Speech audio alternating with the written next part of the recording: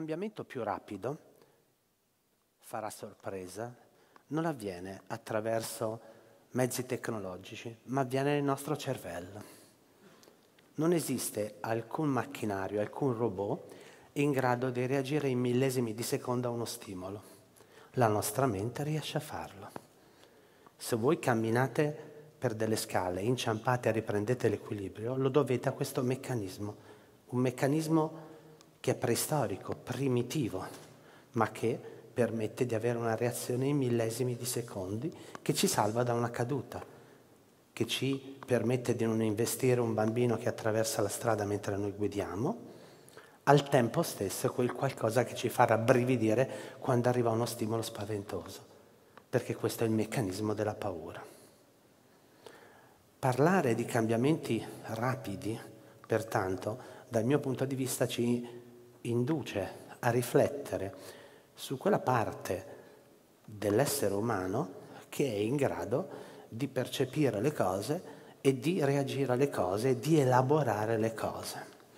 Ma uno dei vizi storici dell'Occidente e anche della scienza occidentale è, sulla base della filosofia antica, pensare che il pensiero venga prima di qualunque cosa.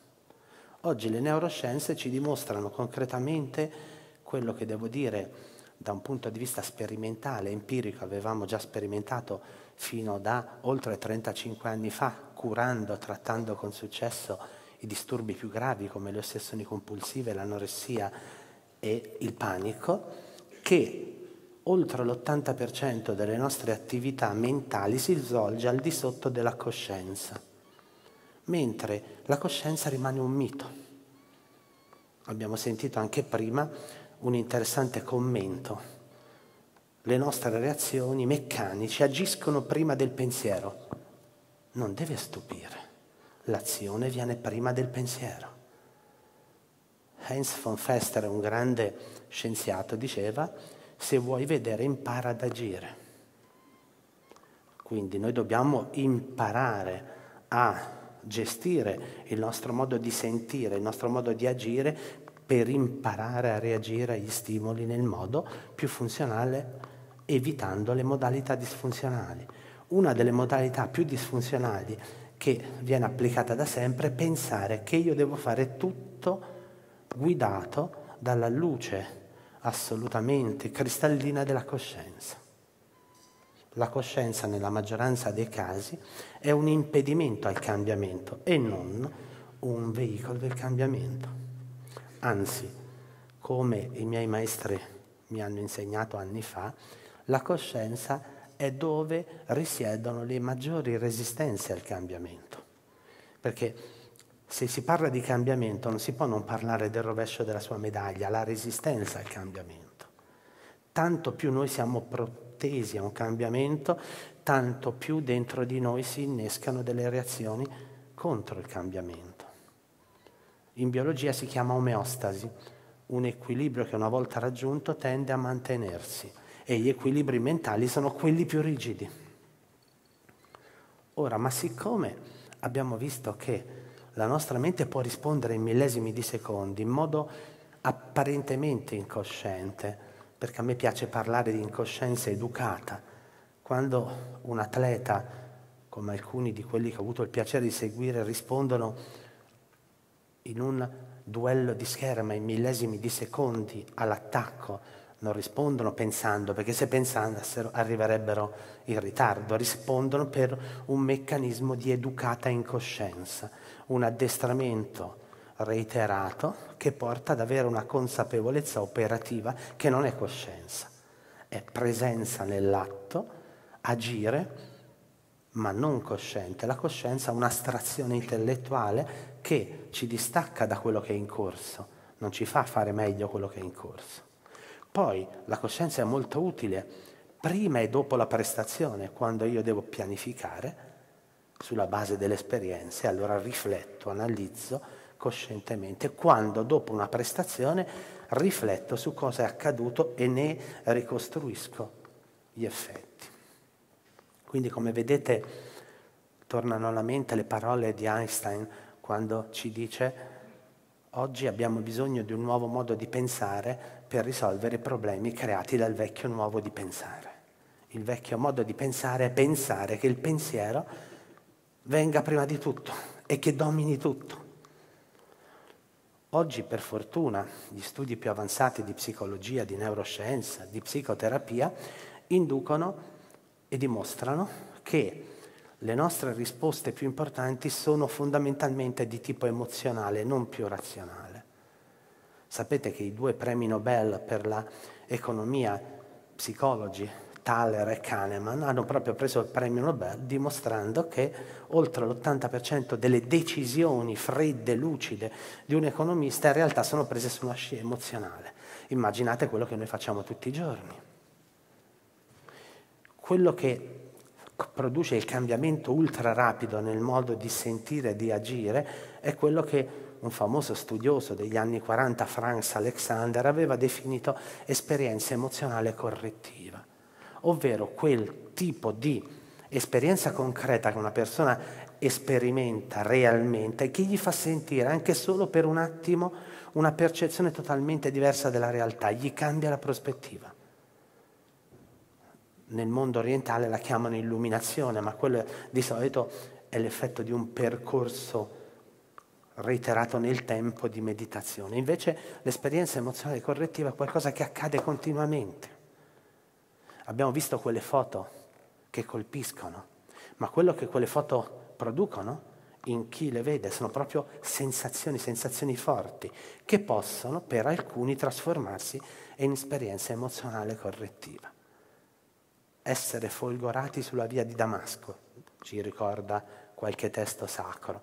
L'esperienza emozionale correttiva è qualcosa che oggi, attraverso studi reiterati, sperimentali a livello empirico, può essere prodotto tecnologicamente, ovvero sono state messe a punto tutta una serie di tecnologie, chiamate tecnologie terapeutiche, io le chiamo tecnologie psicologiche, che possono permettere di guidare le persone a sperimentare esperienze emozionali correttive che le fanno uscire dalle loro rigide trappole mentali. E badate bene, le trappole mentali possono essere quelle del soggetto che ha un grave disturbo o quelle del manager fissato in una idea o quelle dello scienziato innamorato della sua scoperta e non se ne schioda più o dell'atleta bloccato nella sua performance. Quindi non stiamo parlando solo di un mero ambito, ma stiamo parlando di un ambito estremamente importante che rimette la persona al centro di quello che è lo studio del cambiamento e dei cambiamenti rapidi. Proprio perché oggi abbiamo le prove concrete che i cambiamenti rapidi si possono realizzare anche in situazioni che una volta si pensavano inamovibili oppure che richiedessero tempi lunghissimi per essere modificate. Però badate bene, ogni eh, medicina all'eccesso diventa un veleno, ogni veleno in formato ridotto diventa una medicina. Che cos'è che induce le persone a cambiare? l'esperienza emozionale correttiva, ma come si induce una persona a fare qualcosa che magari fino allora non ha avuto l'ardire di fare, non ha avuto la capacità di sperimentare? Attraverso certe forme di comunicazione. E qui torniamo indietro nel tempo, torniamo alla retorica della persuasione, alle suggestioni ipnotiche, all'arte della persuasione.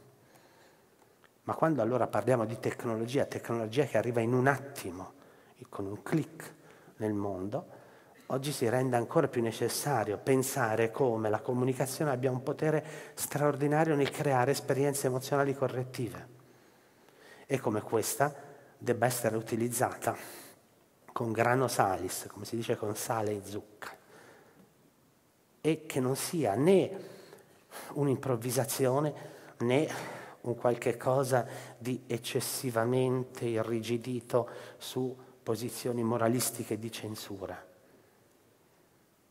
Non si può fermare il cambiamento, il cambiamento è costante, lo dicevano gli antichi oltre 4.000 anni fa, però lo possiamo cavalcare.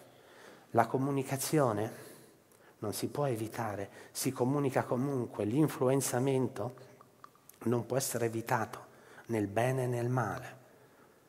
Quindi non è che limitando, censurando delle cose si riducono i rischi, tutt'altro. Anzi, ormai penso che la maggioranza di chi ha un minimo di esperienza, ha studiato un po', sa che ogni volta che si proibisce una cosa la si rende ancora più desiderabile, quindi ne si incrementa la presenza, non si riduce.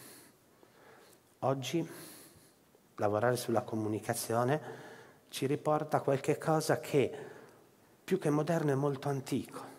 Imparare l'uso del linguaggio, della comunicazione persuasoria, che calzi a certi scopi. Quindi più impariamo a utilizzare, a comunicare in modo strategico per ottenere certi scopi, anche se questo può sembrare manipolatorio, ma persuadere è condurre suavemente a sé, manipolare e forzare con le mani, sono due cose completamente differenti. Più impariamo a essere persuasori e più impariamo a essere capaci attraverso la persuasione di indurre elementi e comportamenti nelle direzioni più funzionali per l'umanità, più riusciremo a cambiare il mondo. Come indica Gotayama Gandhi, se vuoi cambiare il mondo, comincia col migliorare te stesso. Grazie.